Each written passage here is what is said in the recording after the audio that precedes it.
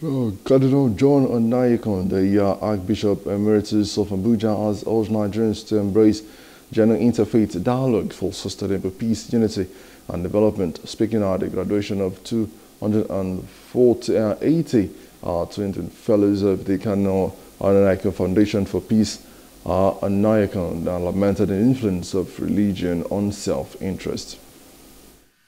Let us come together to support and sustain peace. At the heart of our foundation lies a resolute mission to champion peace and justice through the powerful conduit of interfaith collaboration.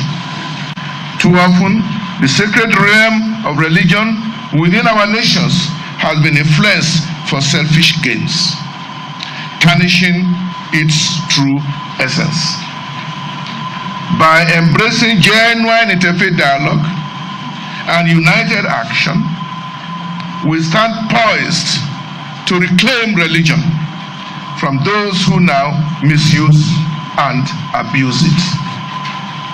We must transform religion into a formidable force for good in our communities, nations, continents, and indeed globally as we tirelessly strive for peace and harmony across our land and globally. Let us remember that without the Lord's guiding hand, our efforts remain unfulfilled. We pray, therefore, that the grace of the Almighty and merciful God may guide us, strengthen us towards a future where peace prevails.